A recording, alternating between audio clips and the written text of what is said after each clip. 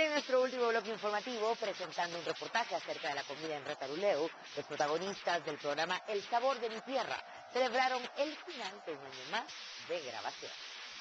Hola, soy Virginia. Hola, soy Eduardo. Finalizó un año más de grabación del programa El Sabor de mi Tierra. Los productores y protagonistas lo celebraron a lo grande y a la vez presentaron el reportaje realizado en el Mancho Guamuchal Abad Cali, conmemorativo del 13 Bactún. Nosotros en esta ocasión vamos a celebrar el segundo capítulo de la serie El sabor de mi tierra en busca de los orígenes de la gastronomía maya.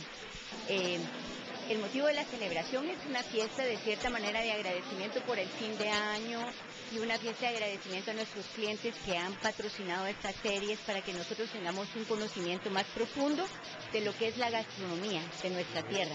Los protagonistas dijeron estar orgullosos de su programa y aseguran que esperan nuevas sorpresas para el público televidente.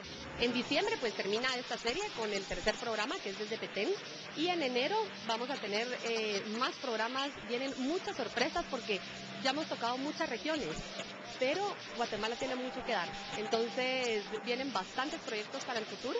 También los patrocinadores mostraron su satisfacción ante el éxito del programa. A nosotros nos gusta mucho el sabor de mi tierra porque es un vínculo entre las tradiciones, entre nuestra herencia, eh, en todo el tema culinario y pues el mundo moderno.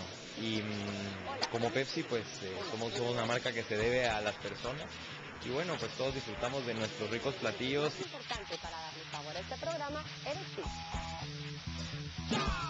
Bienvenidos al especial del sabor de mi tierra en busca del origen de la gastronomía maya desde Manchón Guamuchal.